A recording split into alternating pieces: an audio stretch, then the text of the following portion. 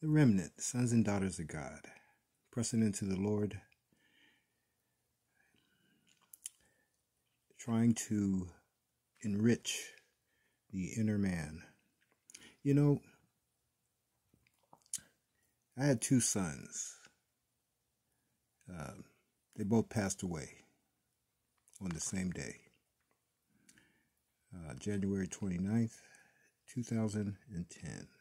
So it's getting close to almost 11 years. But there's not a day that goes by that I don't think of those guys, hear their voices. You know, tomorrow's really not promised to any of us. I mean, they were 23 years old and uh, 25 years old. And, you know, one of them knew he was going to die. He, he had a, something wrong with his heart. And he was in and out of the hospital all the time. And, and he even died a few times. He probably died about three or four times. And he came back. So um, he knew he was going to die. So he was prepared with the Lord. He was born again. He was saved. And he may have even met Jesus. I don't know. You know, most a lot of people meet Jesus when they die, but uh, I don't know if he did or not. But, but I, I, I, he was born again, and he'll tell you with the quickness about the Lord uh, in his hospital bed, or even when he's not in, when it wasn't in his hospital bed. So he's with the Lord now. Yeah, he uh, he passed away in the morning, and then his brother. Um, was shot in the back later that day by the police. He had his hands up. It was, it was a brutal assassination. You know, I, did, I didn't know, I mean, I, I didn't know what types of things that he was involved with. And, and I, I hope that he reached out to the Lord in his final breath or before that you know, but I, I don't know. You know, tomorrow is not promised to anybody. So we, we need to all be ready to go. Because I, don't, I highly doubted if, that he knew that he was going to die that day. You know, he was involved in. Um, I found I found this stuff out later.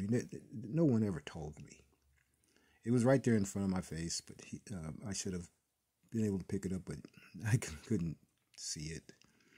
He was a, a, a leader of a gang of uh, Crips uh, with hundreds of members. He started this gang when he was uh, like 12 or 11 or whatever. And over the years, it just grew and grew and grew. I had no clue. I didn't know. And um, I, he was uh, um, I think he was um, a uh, big drug dealer in Portland. He was growing. He was getting larger uh, um, with the money and the. I don't. I'm not sure what drug it is, but I, I suspect it was cocaine or crack or something like that. He drug houses and stuff like that. I found this uh, stuff after he died. No one's actually ever told me this. I just kind of just it just comes to me you know, the pieces of the puzzle that kind of fit together, and um, and so he was shot in the back by the police, and um, for in this particular city, the police they actually not not all police do this, and not all cities do this, but in this particular city, the police actually supply the drugs to the drug dealers. They they run the drug. Uh, game to such. And uh, if you don't play their game, if you don't buy the drugs for them, if you don't, you know, do what, if you're not involved with them, they eliminate you. So that's a possibility. He was assassinated by the police. They knew him very well. And they didn't have much on him. They put him in jail a few times and try on some charges or whatever, and he always got out. But they, in this particular city, they uh, the police know um, the people uh, very well. They keep tabs on the people. They knew me when I lived in this city. They searched my car when I wasn't in it. One night, I parked and ran into my mother's house, and uh, came out, and then put, drove down the street. They pulled me over. They, they knew my name, and told me that they searched my car while I was in my mother's house. So there's some corrupt people out there, but I know this doesn't happen in every city, but there's a lot of cities that uh, do this sort of thing. But the bottom line is, you know, we we should all be ready. We should know where we're going. You know, we are the remnant. We're the sons and daughters of the guy, God, children of the Most High, the creator of the universe. And we should know, we should be looking forward to our futures with the Lord. Not so much here on earth. I mean, it's okay to look forward to your future here on earth. What's going to happen when you graduate from here? You know, and I, you know, I, we're all going to graduate. We're all going to go someplace forever. We're obviously so none of us really ever die. I mean, for the body will do its thing and stay here, stuff like that. And, uh, you know, rotting, rotting those caskets and stuff. But we're going to go somewhere else forever. Billions of years. Me, myself, I'm looking forward to um, maybe martyrdom if it comes to, they'll probably kill me. They they know me. the New World Order knows me. The One World Government knows me. The Antichrist, devils, demons. They know me very well. Got a YouTube channel that talks about God, so they know me. And I'm, I'm not going to hide from them you know, when they come looking for me. I might run from them, but you know, if they want my head, they can have it because the Lord Jesus Christ died on the cross for me. He suffered such a long time, many, many, many hours. You know, he put a crown on his head that made his his head bleed. And I was like, you know, I, I touched one of those crowns one time, and the the, the thorns on in that crown, oh my God, they are so sharp. And they pre- they pressed it into his skull. You know, they made him carry that 300 pound cross for, I don't know, could have been a mile. And he was exhausted. And they were beating him the entire time. So, and then, you know, he's, he, they nailed him to the cross. And so I'm willing to die for Jesus. If that's what he put me here for, I will fulfill my destiny. And, you know, we need to look into the future and after that, you know, I'm going to be with him. I probably won't even feel any pain. You know, if they shoot me, if they cut my head off, I don't care. It doesn't matter to me. They can have it. And I'll I'll be saying God loves you the whole time. They're doing it. Jesus loves you. Jesus loves you. Jesus loves you. And I'll be speaking in tongues also too. So get in the habit of speaking in tongues, guys, for hours each day. Because, you know, when when the when the tribulation comes, you could you might be here.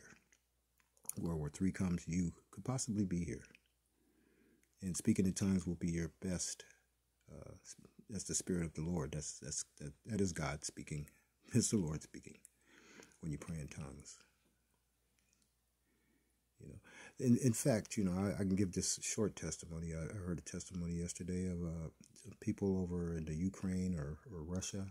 You know, back um, in the days of Hitler, the Hitler army captured them, and they were getting ready to kill them all. They were going to shoot them. They said, "We're going to shoot you." And so these were Christians. And you know what they all did? They all, the, the leader or one of the guys said, "Hey, everybody speak in tongues." They all started speaking in tongues. They were getting ready to get shot and killed, and they all started speaking in tongues. And you know what happened? the German officers they said, You guys can leave. They said, We're not going to shoot you guys. You guys can leave. You guys can go. And, and one of the people said, Why? You know, he says, Because when you were talking, you were speaking in German. and you said you said that we we are if you if you kill us you're going to die within one week because and you're you're um because our lives are de- de- directly connected to your life. So the german soldiers let them go free. They're still alive today. Very old but they're still alive. So speaking in tongues is great thing to to do to get in the habit of doing. And not only that but it grows it growing the inner man uh, being fortified every single day with reading and praising and worshiping as much as you can. And talking to the lord with your mind or with your mouth. And just putting him first in everything that you do and encouraging your you know if you're around friends or family encourage them to get saved it says, and pray for them. Even if, you know, if you just pray for them and just believe God that He'll save their souls one day. You'd be surprised how many people are going to come to the Lord that you'd never guess are going to come to the Lord just from somebody praying for them. And you may never see these people, but you'll see them in heaven.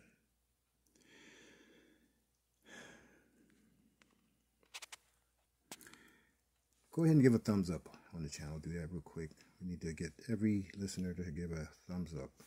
I'm going to do this short declaration here, and then I'm going to pray it. And you can pray out of the Bible. Try to pray every day. That, that helps your inner man grow. Your inner man is the spirit. That is your spirit. And um, this is Psalms 139, 7 through 10. Ready? Mm-hmm. Whither shall, I go from thy spirit? spirit? whither shall I go from thy presence? If I ascend up into heaven, thou art there. If I make my bed in hell, behold, thou art there. If I take the wings of the morning and dwell in the uttermost parts of the sea, even there shall thy hand lead me, and thy right hand shall guide me. If I say, surely, oh.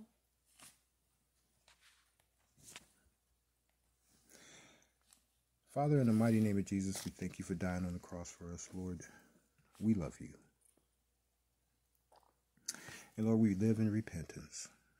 And we all have things that we're working out within ourselves to get rid of because we know that it's possible that you might not be pleased with those things. So we're all working on those things. So we all repent. And we thank you for forgiving us of everything that we've ever done wrong. We're just doing the best that we can. We're pressing as hard as we can. And we're waiting for you to, to, to help us and lead us and guide us in certain things, in everything in our life. And Father, where can where where can we go from your presence, from your spirit? Nowhere. Because you're everywhere. You're stretched out across the universe. Some of us are in your fing- are in your hands, some of us are in your head, your heart, your legs, your torso, your arms. We're you are everywhere. So anywhere we go, you are always there, always there, and we can always count on you 24 hours a day, seven days a week, and we can always talk to you. You always listen to us individually. And we thank you for leading us and guiding us because you're always there. And where, where can we flee? Where can we run? We can't go anywhere away from you. That's the thing. He says, if I if we ascend into heaven, you're there. If we make our beds in hell, you're also there. You're everywhere. And you're always going to be everywhere. And if I and if I take the wings of the morning and dwell in the uttermost parts of the sea, you're there. You're everywhere. Anywhere and everywhere, all of the time. And we thank you for this. We thank you for loving us. Father. And, and even there shall the, uh, thy hand lead me, and thy right hand hold me. And Father, we all pray that you lead us and that you continue to hold us. Give us a big hug, Father, each and every one of us right now. Hug us.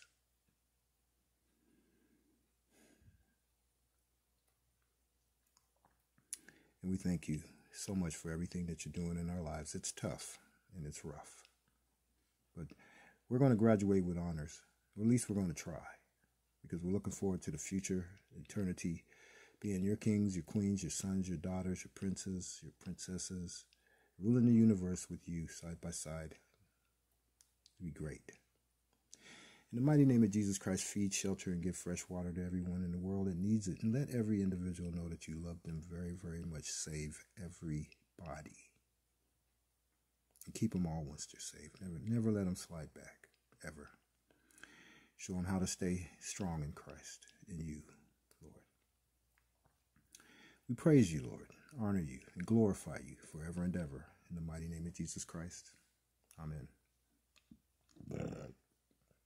And Lord, we thank you. Go ahead and subscribe to the channel if you haven't already. Don't forget to give a thumbs up. We need all the thumbs ups we can get so uh, we can spread the word. Um, spreading the word is easy as putting up a giving a like because it, it boosts the video and somebody might see it that, uh, that that needs to see it. So you get a chance to spread the word of God just by giving a, a like you like other videos that have nothing to do with God, so go ahead and like God's videos too. Not only for this channel, but for others. Leave a comment if you like. And definitely share uh, the videos with your friends and family. Have a great, and on your social sites too. Have a great day. In Jesus' name, in Jesus' name, in Jesus' name.